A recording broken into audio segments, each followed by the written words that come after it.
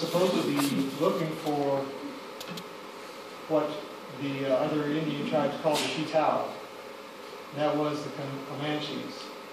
The government wanted to make contact with the Comanches. And all I can say is, here again, it was really fortunate they didn't find them. Because that would have been the end. The, the Comanches were a very fierce tribe, and I don't think they would have dallied with, with this expedition. Well, they are, they are having some difficulty. Pike writes, finding the impossibility of performing the voyage in the time proposed, I determined to spare no to, to no pains to accomplish every object, even though it should oblige me spending another winter.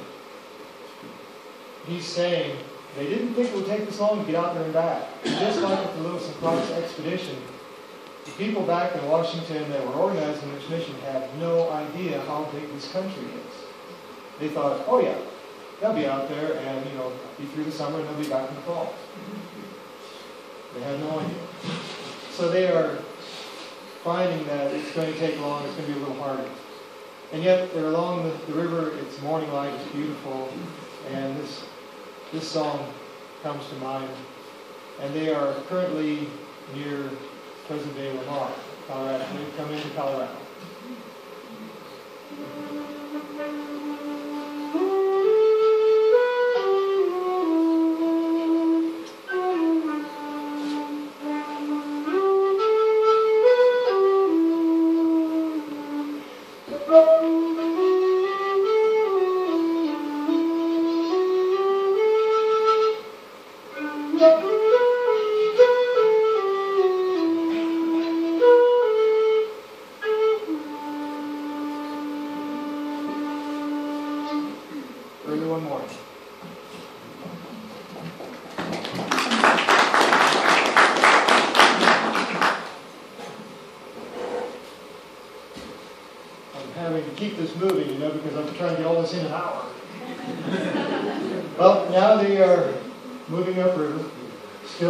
Signs of the Spanish traits, as they say. They're following the trail of the Spanish.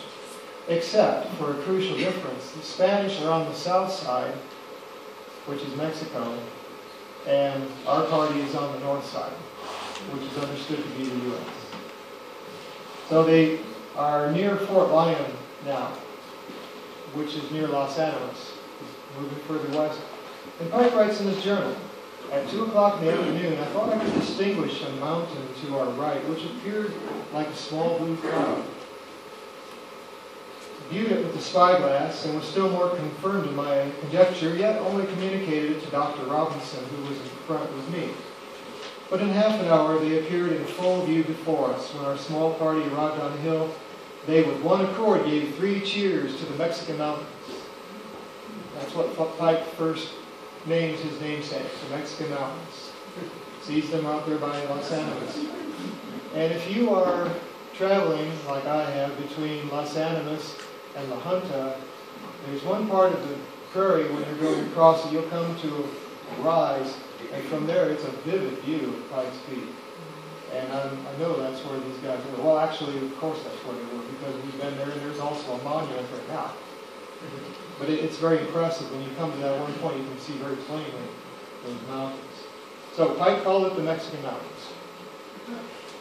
Well, the long expedition came through in 1812.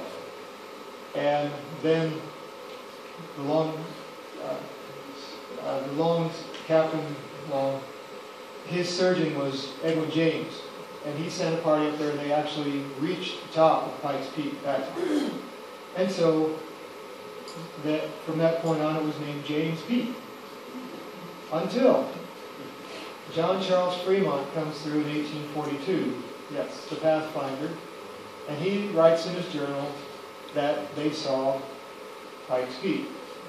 He refers to it as Pikes Peak, and that stuck. So we're going to can thank John Charles Fremont. So, the...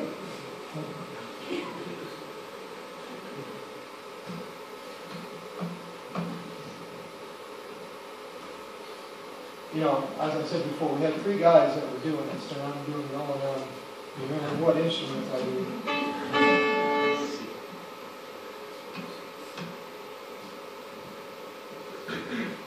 So this is a tune that is sort of contemporary to the time, and that was when was uh, Horatio Nelson, the admiral, had a triumph.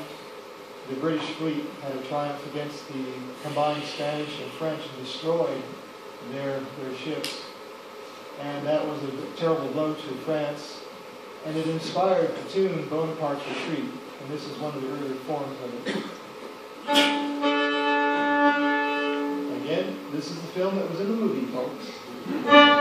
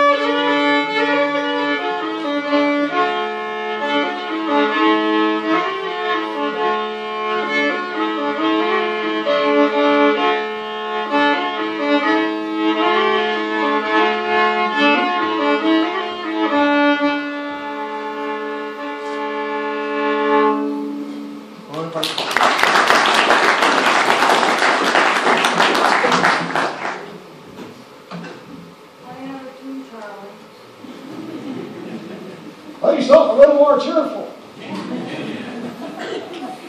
It is November 20th.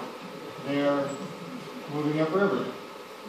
And Pike is voicing some frustration again about this place being bigger than anybody realizes. Marched at our usual hour, pushed with an idea of arriving at the mountain, but found at night no visible difference in their appearance from what we did yesterday. They've been walking for days and they don't look like they're any closer. Ever feel that way? Yeah, Yeah. they they find many buffalo and kill kill several of them, and they just eat till they can bust. Now they're moving upriver with 900 pounds of meat. And it's slow going, and uh, they're sort of you know letting the mind wander, and the uh, daydreaming, and the birds are soaring around. And this song came to mind on that part of the expedition. This is called the Bird Song, this is a very old song. Even for 1806, this is an old song.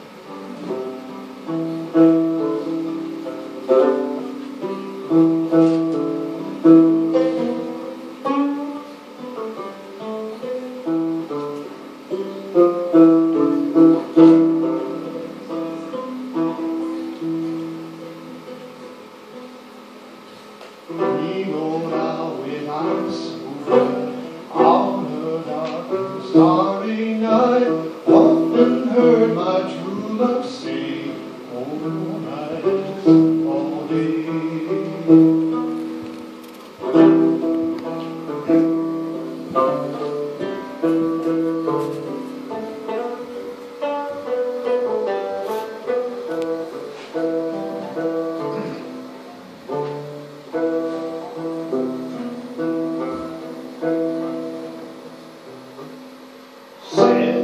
Said the the crow,